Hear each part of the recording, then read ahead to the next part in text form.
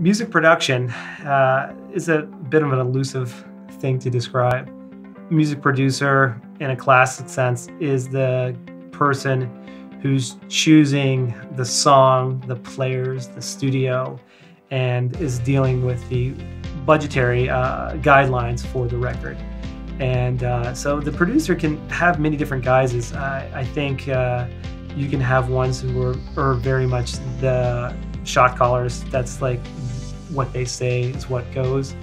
In some sense, uh, for me, and I think what, uh, my approach um, and part of the, I think a large part of the curriculum of what a producer is, what production is, is is tapping into the and nourishing the creative environment getting the artist to realize what they're saying is beautiful or is strong or is emotive or getting them to try a slightly different approach to it and to sometimes tap into the, the subconscious of maybe what the artist is not really saying but wants to say.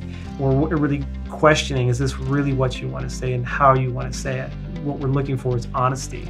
And i think that as uh, people we, we can see through if it's not honest. And it's allowing that artist to be comfortable enough to be to be 100% truthful and, and, and honest and, and believe in, in what they're saying uh, so a producer guides this process from the, the demo to the final recording.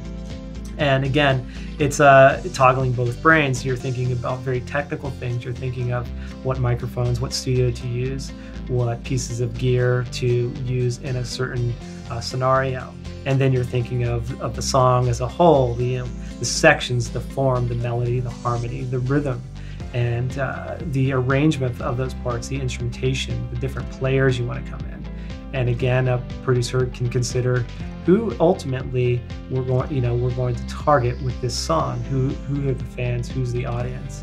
Um, at the end of the day, is it a record label or independently driven?